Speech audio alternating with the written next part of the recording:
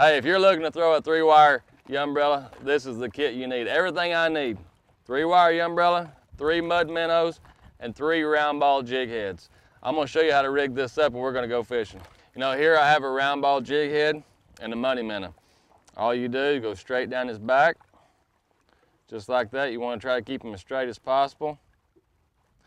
You know, you can use super glue if you like. Mud minnows is a stout enough swim bait, you can get by without it just like that. You see how straight he is? Then I'm gonna hook him on the bait.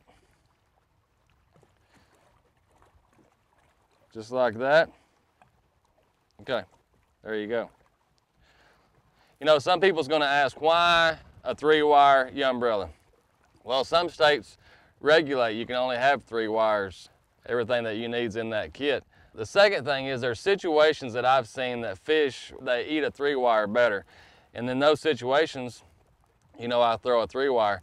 You know how I throw this? It's a lot like a YUMbrella. You know, you're gonna throw it around bait.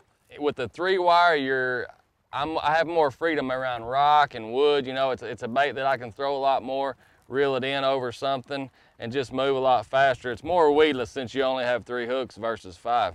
The YUMbrella three wire kit, let's tie it on and see if we can catch a fish on it. You know, in throwing the three wire, it's a lot like the umbrella, you know, the five wire.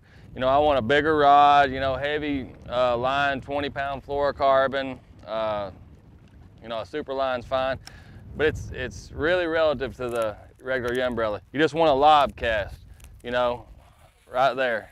I mean, that's uh, 30 yards off minimal effort. And then the retrieve, uh, pretty much, I want to stay in the middle of the water column, you know, around the bait. If the bait's up high for that day, you know, I want to reel it fast. If they're down low, I want to slow roll it. Just let the fish tell you what they want.